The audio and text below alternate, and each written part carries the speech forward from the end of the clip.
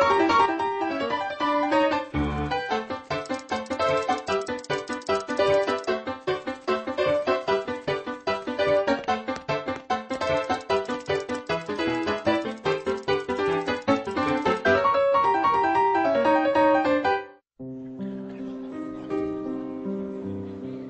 Četvrti međunarodni festival animiranog filma Banja Luka 2011, koji je sinoć otvoren u dječjem pozorištu Republike Srpske u Banja Luci, nastavlja tradiciju festivala koji je prvi put održan u gradu na Vrbasu 1971. godine.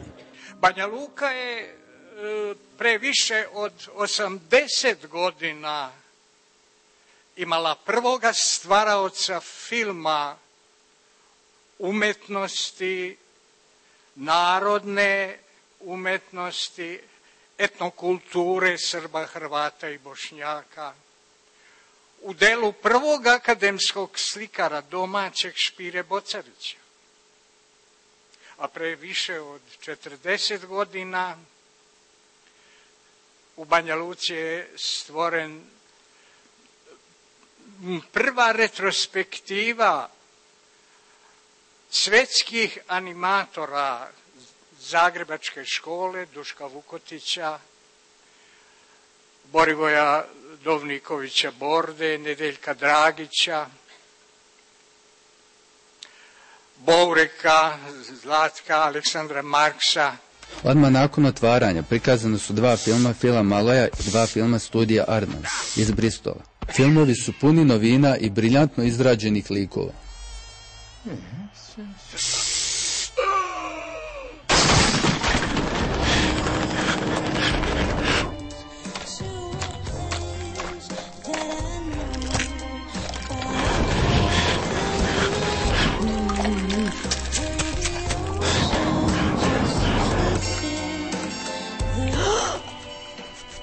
Festival je uveliko pomoglo i Ministarstvo prosvjete i kulture u vladi Republike Srpske.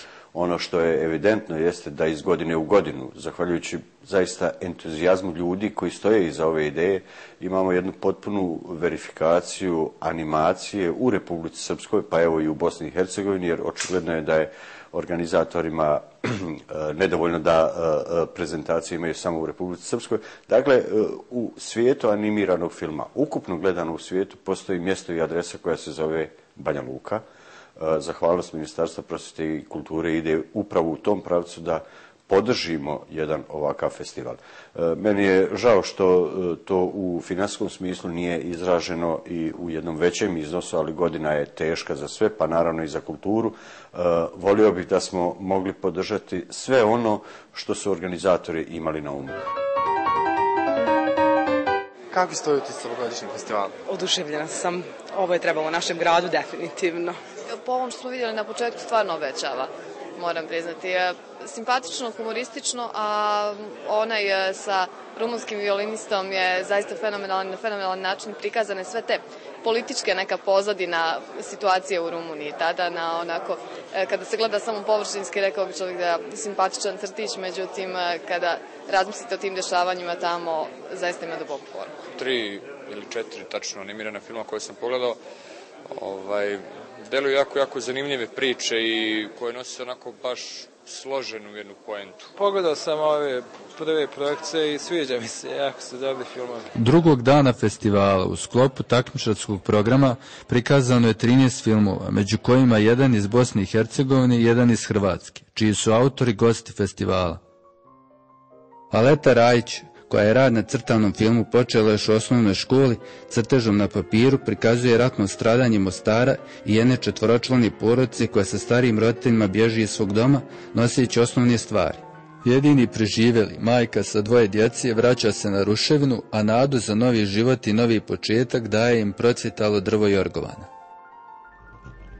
Andrij Rehak iz Hrvatske prikazuje dva trkača koja trče u različitim brzinskim okvirima. Jedan predstavlja memorijsku projekciju drugoga. Film istražuje vezu između sistema različitih brzina i razlika u njihovoj percepciji.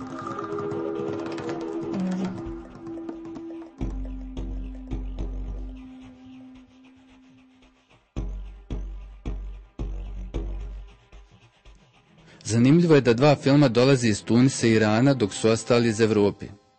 Film dolazi iz Irana i priča o violinisti koji pokušava otišati sve okolne zvuke kako bi čuo svoju omiljenu violinu i pjesmu koju će odsvirati u svojoj praznoj kući, čak i kada buka stvori veliku zbrku. Trailer filma je 2006. godine na Džarba TV festivalu dobio nagradu Jasmin Dor, najprestižniju nagradu takmičenju trailera. Film priča o Ambubi, koja ne bi smjela zaboraviti na sastanak sa Meherzijom i Bejom u 17 sati u marini Tunis 2, međutim ga zaboravlja i ne odlazi na njega. Iz Poljske dolazi zanimljivo ostvarenje u kojem se tineđerka Loreta boji činjenice da sve vodi ka smrti. Ovo je prvi put ispričana priča o heroini mračne balade Nika Kijeva, interpretirane Katarzinom Gronjec, poljskom Edith Piaf.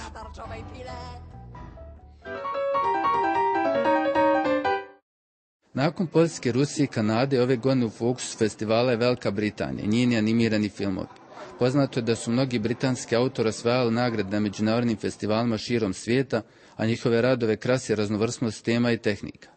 Iako se kompjuter koristi za 2D i 3D animaciju, ručne tehnike i dalje opstaju. Zadivljujući je Tad Snest, Petri Freeman, slika na staklu, ili jako, jako, jako star čovjek, Elizabeth Hobbs, slika na pločicama plavom tintu. On prikazuje Tomasa Para, koji ima 152 godine i 1635. godine odlazi na putovanje da upozna kralja Charlesa I. Svečana večera u kraljevu čast ima fatalne posljedice. Tu su još i pletena animacija koju koristi autorka Vera Neubauer, članca žirija festivala, ili neke druge poput Chemical Brothers Salomon Dance, spota koji sadrži 320 ručno nacrtanih crteža raspisane ribe koje repuje. U prvom bloku savremene britanske animacije gledalci su se mogli uvjeriti u virtuoznost britanskih autora, a neki od njih je svakako i Steve Smith sa filmama Zanimljivost 1 i 2 ili Samo tvoj, Osbert Parkera, u kojem konačno oprošteno ljubavno pismo prokreće ranju o svijetu gdje se animacija i akcija stapaju. U prvom bloku britanski animirani filmova za najmlađe se nalaze vrhunska djela u svijetu ove vrste umjetnosti, među kojima se posebno ističe veoma popularni polusatni porodični TV specijal Snowman. Ovaj film Diane Jackson je prvenstveno sa vrlo dobrom muzikom, a govori o mladom Englezu koji na banje veče pravi Snješka Bijelća, kako bi on oživio i odveo ga na sjeverni pol, te upoznao s djedom Razom. U Velikoj Britaniji nikad nisu postojala sredstva strogo namijenjena kratkim filmoma za djecu, već ono što je rađeno bilo je naručeno za televiziju ili komercijalno rađene igrane filmove. Ostrvo nesreće Davida Johnsona govori o incidentu o životima dva mornara, nasukanih na tropskom ostrvu s iritantnim pingvinom i prikladan je za porodičnu publiku.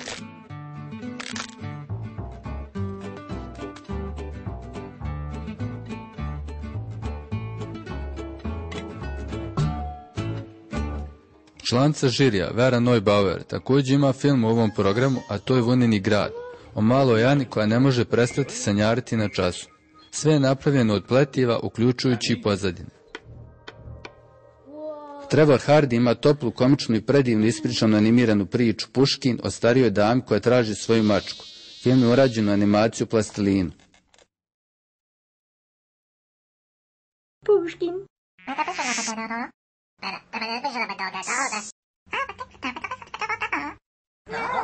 Šta si gledala unutra? Gledala sam neke crtiće i bili su mi dobri. Najviše mi se svidio zadnji.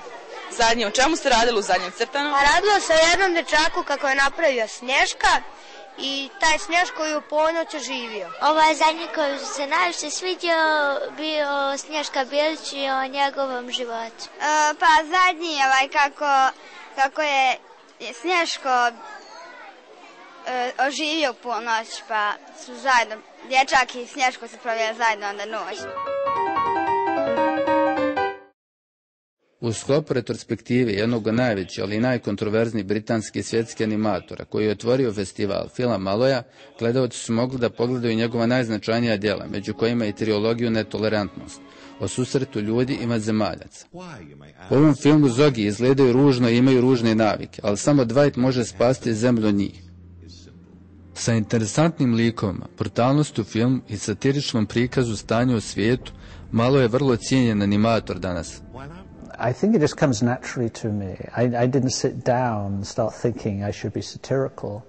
Um, how, why? Um, why am I so critical about the values of our society? Uh, satira, to mi je prirodno. Ne znam zašto sam satiričan, ali kad vidim svijet oko sebe, vidim uh, različite odnose, vidim kako bogati ljudi žive pored siromašnih ljudi. Moja pozadina jeste iz siromašnog svijeta.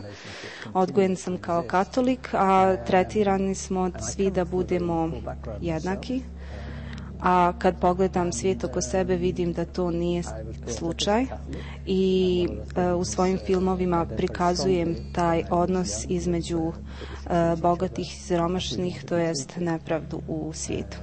Da li ste nailazili na nerazumijevanje u Velikoj Britaniji baš zbog takvog pristupa u svojim filmovima? No. I leave very little room for misunderstanding.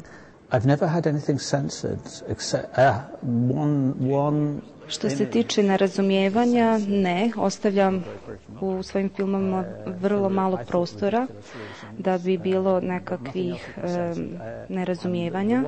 Što se tiče cenzure, moje iskustvo je bilo da je samo jedan prizor iz mog jednog filma morao biti cenzurisan iz, što se meni tiče, glupavih razloga.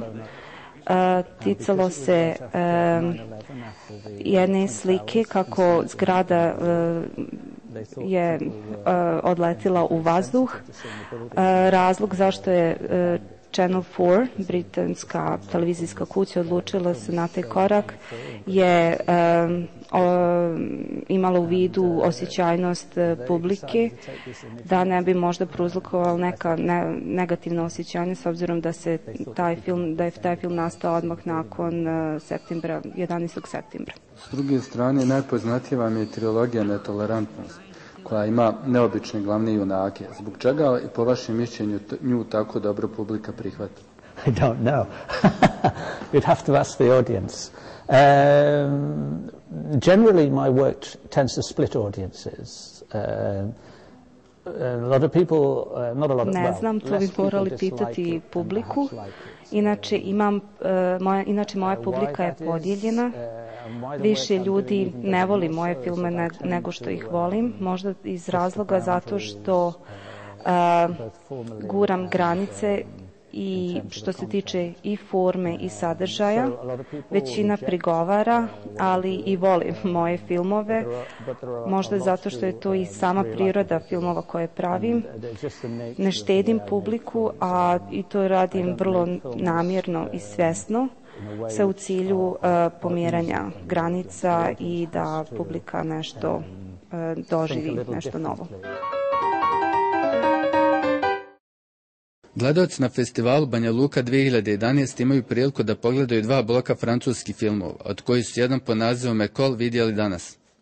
Visoka nacionalna škola dekorativnih umjetnosti po uzoru na velike anglosaksonske škole ima više od 700 francuskih i stranih studenata i raspolaže sa 10 obrazovnih sektora, među kojima je animirani film. U sklopu ovog programa gledalci su da pogledaju osam filmova iz Jonathana Martina u tehnici crtanja na papiru s korištenje softvera je o američkoj pjesmi smrti i ponovnom rađanju, ili bolje rečeno o Bob Dylanu. Tiffany Martin je napravila film Nošeno o mladoj ženi koja pokušava ostati raspoložena iako mora nositi težak teret. Otkriva svoj vlastiti ritam koji je samo njen, ali također i u skladu s ostalim ritmom.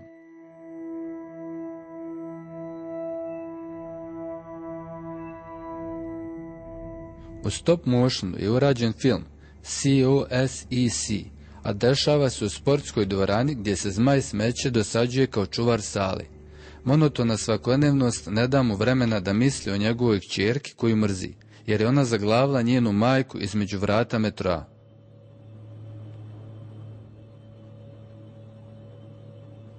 Nešto sasvim drugačije projekciju animacije i videa na gips modelu donosi Elza Simon sa filmom Simonov život, o ženi koja dolazi neočekivano u Simonov stan i pita ga je li kad bio zaljubljen, što vodi do nejasne veze.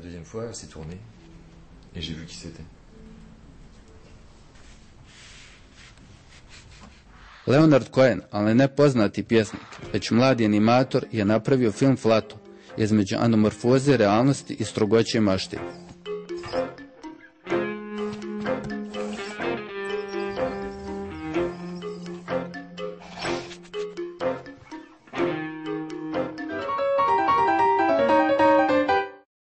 Sam naziv Exiu Panorama govori da su gledalci u ovom programu mogli da pogledaju izbor neki najbolji filmova posljednjih godina sa prostora bivše Jugoslavije.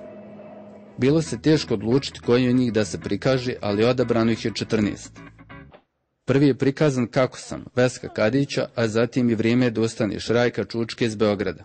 Point of Mouth, Midhada Janovića Ajana, koji je bio član žirija na prvom međunarodnom festivalu animiranog filma u Banja Luci, je rađen u 2D animaciji, a govori o čovjeku iz Sarajeva i njegovim uspomenama, te činjenici da nikad neće moći napustiti svoj rodni grad, bez obzira koliko daleko otputovao. Još jedan član žirija, ovaj put prošlogodišnjeg, Dino Krpan je u ovom programu imao svoj novi film Čudnovati izum. O izumitelj opsinutom idejom u pokretnoj slici na listu papira.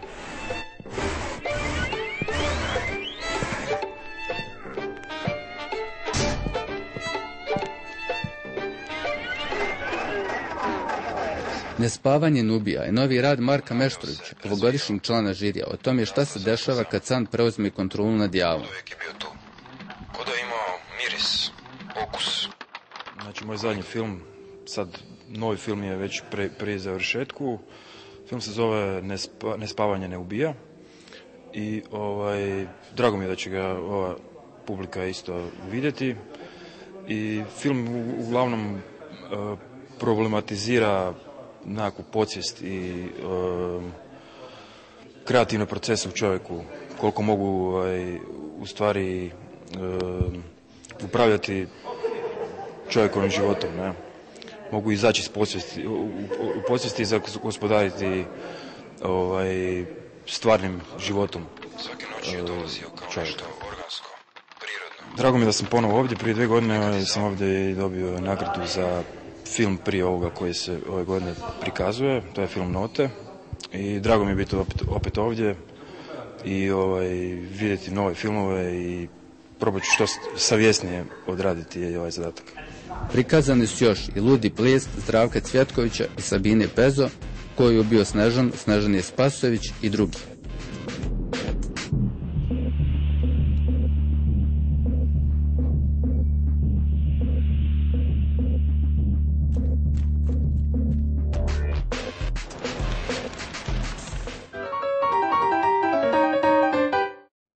Nakon sinoćnjeg otvaranja izložbe stripa Boriva Dovnikovića Bordi, danas je upriličena i promocija njegovog strip albuma. Borivoje Dovniković Bordo je ostao vjeran svom prepoznatljivom crtačkom izrazu i jasno je da se radi o istom umjetniku, o istom mladenačkom duhu svježini, znatiželj i senzibilitetu. Tako ostaje jasno da ovaj umjetnik ima status najdugovječnijeg crtača stripa na svijetu.